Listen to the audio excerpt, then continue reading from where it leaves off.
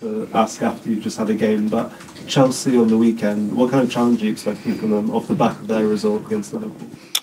Um, yeah, it'd be an in- incredibly tough challenge as as always. You know, playing Manchester United like we just have, or playing Chelsea, two of the biggest clubs in in England. Um, incredible uh, ability to sign talent and produce some of their own talent.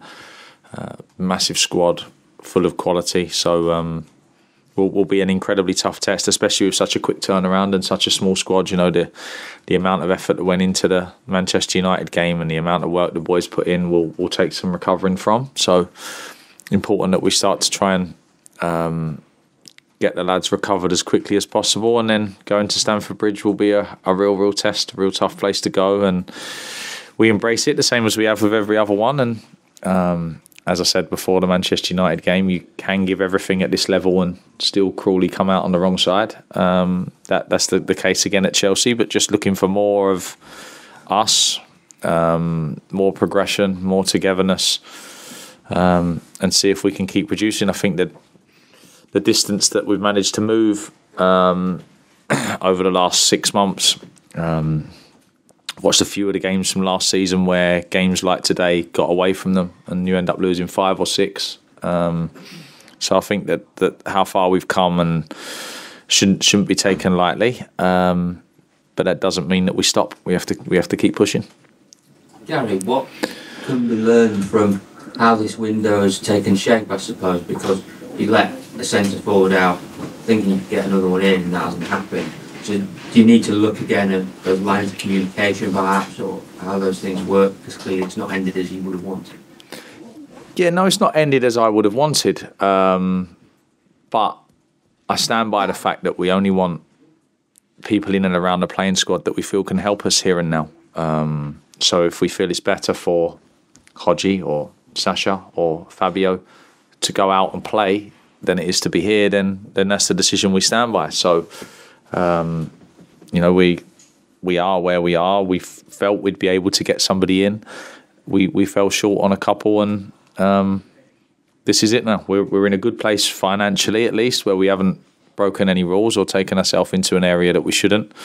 Um, and you've, as you've just seen from the from the game against Manchester United, we have options available to us if we are creative enough and if we can make the things work and look how we want. That we can still score three goals at home against Manchester United. Was it as simple as that with Broja that if you stretched yourselves, you would have been into an area where you're risking punishment? Yeah, we couldn't afford the. Yeah, we couldn't afford to go to where where other clubs were able to go to without without putting ourselves at risk. So um, it's it's the position the club's in. It's the position the club told me they were in when they spoke to me. Um, I was hopeful that letting a couple go early clearing some wages would give us some room to do something.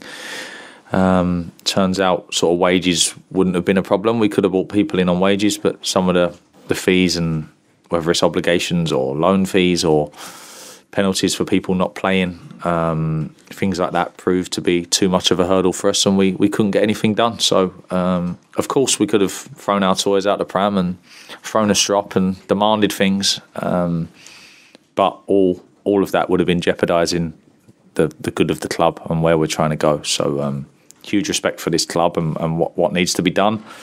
Um, and as I say, I'm delighted with the group again, and uh, we just need to keep pushing and, and find a way to maximise what we've got. Gary, do you think, in a way, that the, the fact that it's been known that you can't get players in, that, that it was difficult for you, you would be pushing it to try and get players in, has actually helped with this, with the mentality of the core group that you've got? Because they're not, they know essentially that it's down to them. They're not going to get any external help because um, you you seem to have fostered a, a pretty awful one and one for all spirit there. We're trying. I think that's always a big part of what I do. I was it was a big part of what I tried to do last season. It's been a big part of what I've tried to do this season and. Yeah, tra- transfer windows when you're in the playing squad already can be can be funny because sometimes you'd like to see a few arrive because you know you get some some help and some support, um, and other times for for selfish reasons and for reasons of no, no, we we've got this, we're in this together. You prefer it to stay where it was. So I don't know how each of the individuals feel about it. Um, I'm really clear with them on how I feel about them and how I feel about the group and what we are.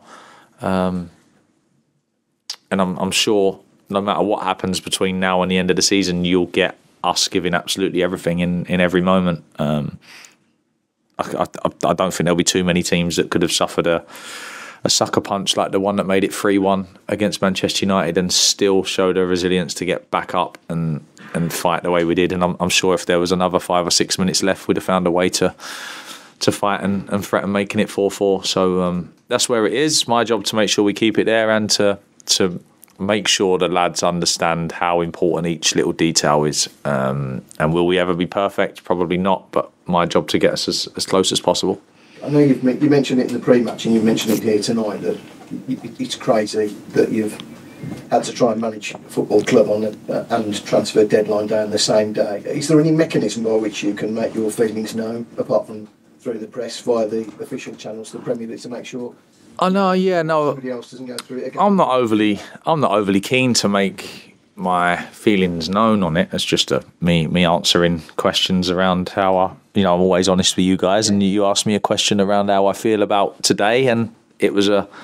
I, I need to be 100% focused on the game today, um, and you being asked questions from higher up the, the chain around should we do this, can what can we do that, and um, all the while it's interrupting game prep and, and what, what we should be doing. Um, and then I end up being on the touchline for the last few hours. Um, so if there were any decisions to be made around things, I'd have had no input in them at that point. Um, I just think the people that arrange or set these things up will know already that there are doesn't doesn't, doesn't take a genius to figure out that if a manager's managing a football match, it's impossible for him to have an input on signings that may be made. And I'm sure they'll say, "We'll get your signings done earlier." Um, but as we've seen from the last however many January windows, selling clubs will wait till the end, buying clubs will wait till the end, and loads of it will get done at the end. So um, it's going to remain that way. So would be more sensible, in my opinion, to have no games on deadline day.